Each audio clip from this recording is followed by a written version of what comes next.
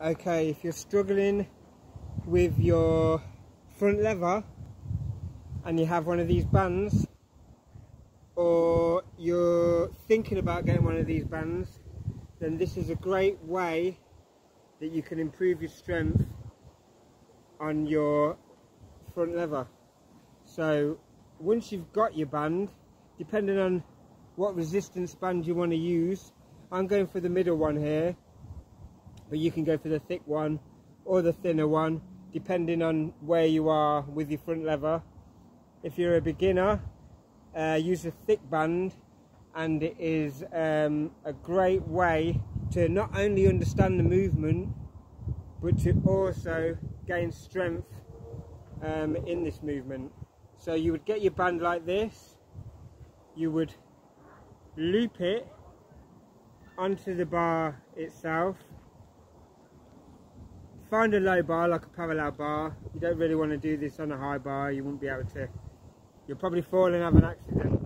So a low bar i.e a parallel bar you'd put this behind your waist and then you'd basically hold it on the opposite side.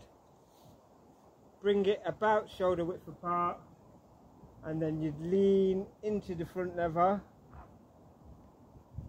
Shoulders back and you would hold this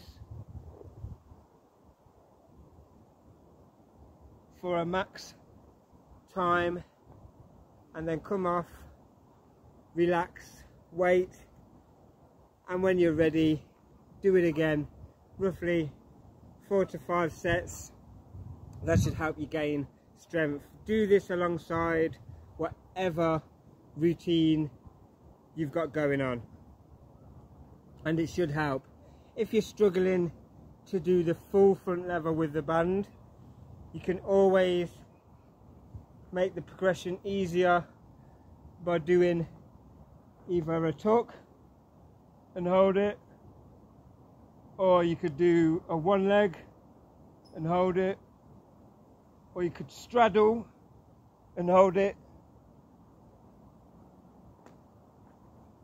There's various different ways of making uh, this progression harder or easier. But there's some for you to play around with and hopefully you should start seeing some gains in your front lever